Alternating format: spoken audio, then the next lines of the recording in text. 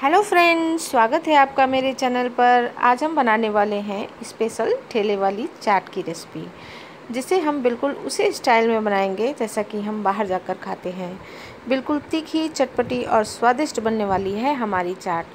तो फिर देर किस बात की? चलिए शुरू करते हैं आज की मज़ेदार रेसिपी, मटर की तीखी वाली चाट। तो उसके लिए यहाँ मैंने ये मटर ली हुई है, जिसको सिंपल सा खाली बॉईल कर लिया है, नमक डालकर। और ये लिए हैं उबले हुए आलू, कटी हुई प्याज, टमाटर, ये है इमली का पानी, जिसको दो घंटे पहले भिगा कर रख दिया था, और उसके बाद उसका पल्प सारा निकाल लिया, और इसमें सिर्फ़ काला नमक और थोड़ा सा भुना हुआ जीरा डाला है। और उसके लिए हमें चाहिए ये पापड़ी, जिसको घर पे ही बनाया है। इसको कैसे बनाना है, इसकी लिंक नीचे डिस्क्रिप्शन बॉक्स में डाल दिया है। आप उसे चेक कर लीजिएगा। और हमको चाहिए थोड़ी सी हरी मिर्च और कटा हुआ अदरक थोड़ा सा गैस पे तावे को चढ़ा दिया है और अब ये बिल्कुल गर्म हो गया है। इस पर हम डालेंगे टू टेबल स्पून ऑयल और इसको हम अच्छे से चारों तरफ़ ग्रीस कर लेंगे। तेल जब गर्म हो जाए, तब हम इसमें डालेंगे थोड़ा सा जीरा और इसको हम चला लेंगे। अब हम इसमें डालेंगे थोड़ी सी हरी मिर्च और अदरक। इन सभी चीज़ों को हम थोड़ा देर भूनेंगे। अब हम इसमें डालेंगे थोड़ा सा प्याज। और प्याज को भी थोड़ा देर भूनेंगे। जब प्याज थोड़ा थोड़ा ट्रांसपेरेंट होने लगे, तब हम इसमें डालेंगे थोड़े से टमाटर। और इसको भी हम अच्छे से मिक्स कर लेंगे। इसमें हम डाल देंगे थोड़ा सा नमक, जिससे कि टमाटर जल्दी गल जाएँगे। जब टमाटर हल्के हल्के गलने लगे, तब हम इसमें थोड़े से आलू डाल देंगे। और आलू को भी इन सभी चीज़ों के साथ भून लेंगे। आलू को भी थोड़ा देर भूनने के बाद अब हम इसकी फ्लेम को बिल्कुल स्लो कर देंगे और स्लो फ्लेम करने के बाद अब हम इसमें मसाले डालेंगे। उसके लिए यहाँ मैंने लाल मिर्च लिया है। थोड़ी सी लाल मिर्च अपने स्वाद के अनुसार डाल दें। धनिया powder, half teaspoon half teaspoon garam masala और हाफ़ टी स्पून डालेंगे जीरा पाउडर इसको भी हम डाल देंगे और इन सभी मसालों को हम मिक्स कर देंगे। एक मिनट तक सभी मसालों को भूनने के बाद अब हम इसमें ऐड करेंगे मटर का ये छोला जो मैंने बनाया था, इसको हम ऐड कर देंगे।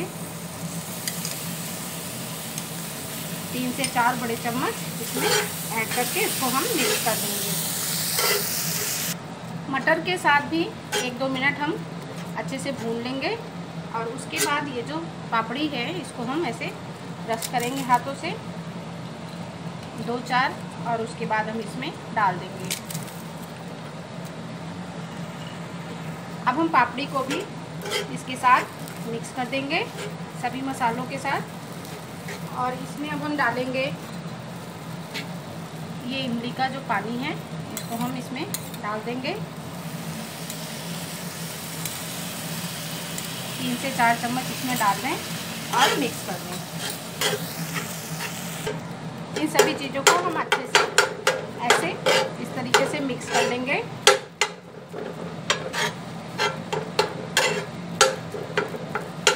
आँच को फ्लेम को हम हाई कर देंगे और सभी चीज़ों को अच्छे से मिक्स करेंगे। स्वाद के अनुसार इसमें हम नमक डाल देंगे और नमक को भी मिक्स कर देंगे। ये हमारा बिल्कुल चाट बनकर रेडी हो गया है। अब हम इसको सर्व करेंगे। तो इसको हम इसमें निकाल लेते हैं प्लेट में। अब हम इसको गार्निश करेंगे। उसके लिए सबसे पहले हम ऊपर से डालेंगे प्याज। इस पापड़ी को हम हाथों से क्रश कर लेंगे और ऊपर से डाल देंगे।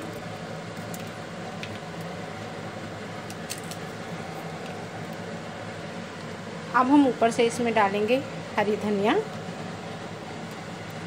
और ये इमली का जो पानी बनाया था, ऊपर से इसको डाल देंगे। और मीठी चटनी खाना चाहें तो इसमें मीठी चटनी भी डाल सकते हैं। अब हम इसमें ऊपर से डालेंगे थोड़ा सा धनिया पाउडर और थोड़ा सा इसमें हम डालेंगे ऊपर से लाल मिर्च पाउडर। और थोड़ा सा इसमें हम ऊपर से अदरक के लच्छे डाल देंगे। और हमारी ये स्पेशल चाट बनकर रेडी हो जाएगी। तो फ्रेंड्स आज की हमारी ये स्पेशल चाट वाली रेसिपी बनकर कंप्लीट हो गई है। आप इसको प्लीज़ घर में ज़रूर ट्राई करिएगा। ये खाने में बहुत टेस्टी लगती है। इसको बनाकर, खाकर मुझको बताइएगा कि आपको ये मेरी रेसिपी कैसी लगी।